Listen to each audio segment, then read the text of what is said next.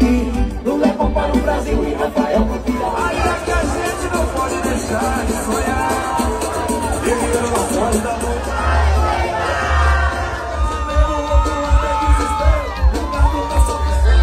Joga a mãozinha pro alto. É moral do mundo. Geral.